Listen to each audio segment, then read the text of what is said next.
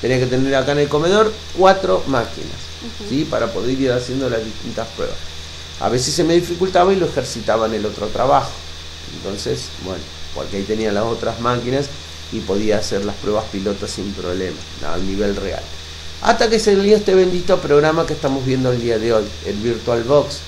Creé una máquina virtual, no llamada prueba, como en tu casa, sino llamada Windows Server. Y ahí instalé, como estamos instalando nosotros ahora, pero instalé el Windows Server. De la misma manera que instalé el real. Creé otra máquina, o sea, perdón, otra máquina virtual llamada Windows 7 y instalé el Windows 7 como estamos instalando ahora. Creé otra máquina virtual llamada Windows XP y Windows tal, el otro, listo. Y en cada uno de los Windows le instalé el sistema operativo. Una vez que ya tenía todo instalado, me puse a configurar de la misma manera que lo tenía configurado en las máquinas reales.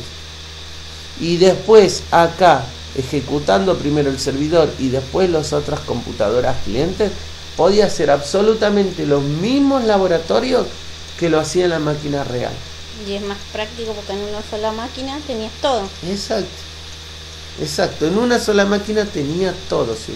Y no tenían de andar cableando, no tenía que andar comprando otros equipos, no tenía que andar haciendo nada de eso. Ya lo tenía todo automáticamente, todo dentro de mi máquina.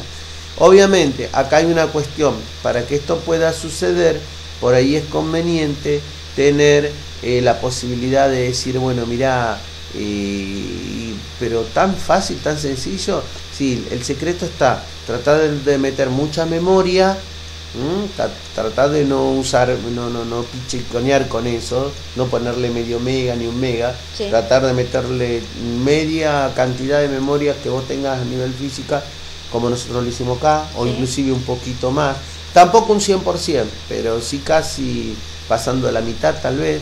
Un buen disco rígido también para meter muchos sistemas operativos. Necesitamos por ahí tener un dependiendo del sistema operativo que vamos a usar no no no pichicanear con espacios tampoco y bueno y de esa manera yo creo que sí eh, por ahí tener una máquina rápida y tener una máquina potente como un i5 un i7 un Core ¿no? un Intel eh, es obviamente mucho más práctico trabajar que trabajar con una máquina mucho menos inferior, sabiendo que si yo abro varias máquinas virtuales al mismo tiempo, voy a estar ocupando muchos recursos del mismo sistema operativo, de la máquina real, en donde voy a ver que por ahí las máquinas se me empiezan a trabar o empiezan a hacer ruidos medios raros que no sé de dónde salen.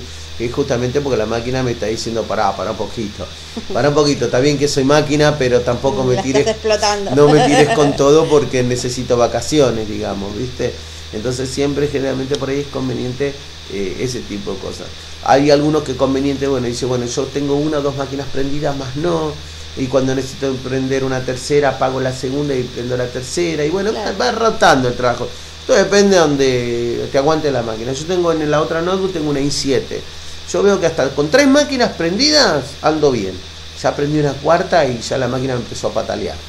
¿Viste? O sea que ya sabemos que necesito más, ah, tres máquinas prendidas, les doy con todo, ¿viste? Pero bueno, yo veo hasta dónde aguantan los equipos como para más o menos después hacer una especie de control de calidad y demás, ¿ok? Bien, hasta acá cómo vamos llevando el tema. Bien. ¿Lo va llevando bien? ¿Se entiende todo bien? Sí. Bueno, pregunta, nosotros en el cuaderno, para ir para allá, porque ya estamos a un 50% de la instalación, eh, tenemos la, posibilidad de saber cómo se crea una imagen. Yo creo que te lo enseñé en otras páginas. Vamos a revisar el cuadernito. Quiero que vos me lo digas si en el cuadernito está y si no te lo enseño. Lo que habíamos hecho era con el... Eh, que yo me acuerdo que me había mostrado esa vez, pero no sé si es eso lo que vos me decís. A ver. Con el Nero sí. habíamos ido a una de nuevo proyecto, cuando entramos en el Nero Express, nuevo proyecto, y hacíamos que íbamos a hacer una copia, pero en vez de que quede en la computadora y se borre, que quede la imagen. Ahí está. Pero yo en Minero en casa lo tengo en inglés y no lo pude lograr, no sé si hago algo mal o qué, no lo pude lograr hacer ah, allá.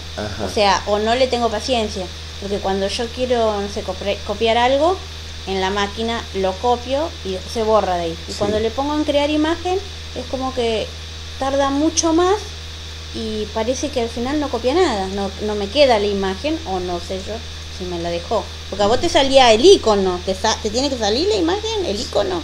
Ah, a mí no me salía el icono, pero yo tengo el otro negro allá. Tiene que salir el icono. Ah, entonces capaz que yo no le tenía paciencia y lo, lo suspendía, le ponía stop lo sacaba y lo volvía a hacer de la Si no hay un programita que yo creo que se te lo había pasado, te había puesto yo el nombre del programa, uno de los programas que te permite en este caso hacer ese tipo de trabajo, se llama Ultra ISO. No, ese no.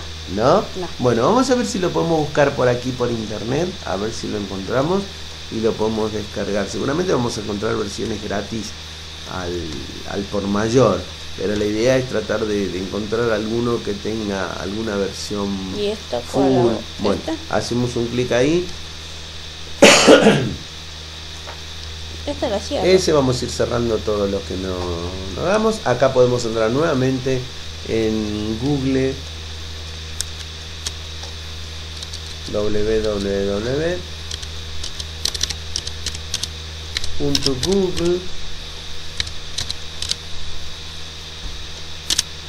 .com.ar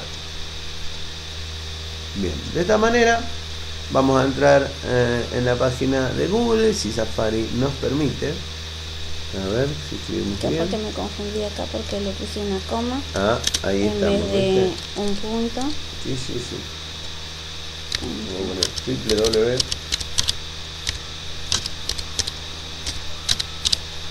.google.com.ar Inclusive sin...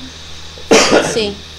ya que estamos, ¿no? Porque veo que vos eh, sos muy inteligente y, captás las cosas ahí en el momento. estaría muy bueno, yo, yo por vos, digamos, ¿no? Como para hacer más productivas tus clases y demás. Se me está ocurriendo. Em, estaría bueno, obviamente, porque esto es el, eh, el paso previo a querer ya enfocarnos en algo determinado. Acá estás sabiendo de todo un poquito, desde, mira, hoy ya estás aprendiendo hasta cómo instalar un sistema operativo, ¿no? Y de ahí pasando por las extensiones, por el tema de los navegadores, por el manejo de la máquina y las preguntas que vos traéis y las consultas y cada vez más, más. y bien, y bien, y bien, y bien. Pero por ahí estaría bueno aprender, si a vos te parece, por ahí, trabajar un poquito con el tema de Office e irnos, por ejemplo, a la parte de base de datos, de Access, ¿verdad? Y dentro de Access, obvio que si querés después aprender a laburar con, con Word o, con Excel por determinadas cosas, obvio que lo vamos a hacer. Pero con Access, digamos, estaría bueno como para decir, crear bases de datos, justamente de lo que nosotros estábamos hablando hace rato, y generar, ya que vos tenés tu, tu laboratorio, tu veterinario, crear bases de datos en donde vos puedas crear justamente eh, un programa, un programa en donde vos tengas. Ese ¿eh? era el objetivo. Ah, pero espectacular, la pegué como el mago Cacarulo entonces. ¿eh? Estaría muy bueno, sí, porque, y te explico. Primero y principal, si vos tenés que comprar un programa, justamente, hay programas que se llaman programas enlatados y programas a medida.